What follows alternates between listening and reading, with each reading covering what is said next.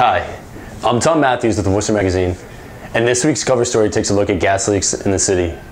Today I'm going out with Bob Ackley, who's with Gas Safety Incorporated, and we're driving around the city looking to see if we can find dying trees and to see if they're a result of nearby gas leaks. Intake here, so I, I'm, I'm running two different instruments at the same time. And that's the G, GPS on the roof. That we need 21% oxygen or we die. Gets down below 18, it's bad now. And right here we have 12%. So I have an oxygen meter here. So what, we, what we're seeing is 12% oxygen around this tree when it should be 21%. This tree is dying because of the gas leak. I believe so, yeah. There's gas right underneath the sidewalk and getting up close to that tree.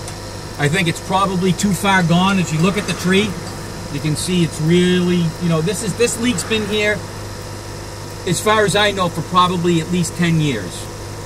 And it'll take that. You know, you, you put in a tree like this size over here, you know, say this is a six inch tree. I mean, you don't see any new plantings in Worcester. You saw some up on Shrewsbury Street, right? Here's another leak here.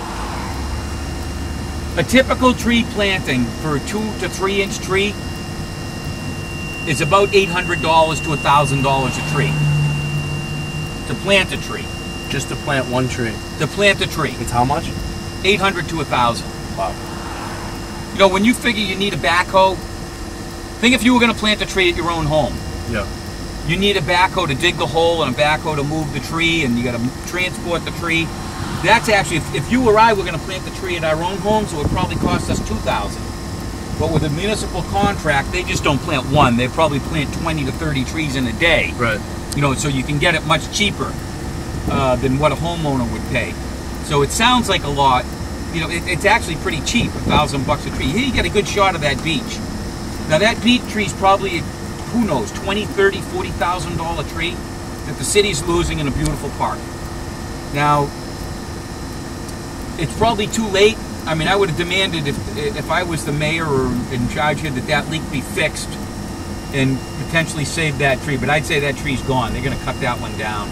We got gas leaks right.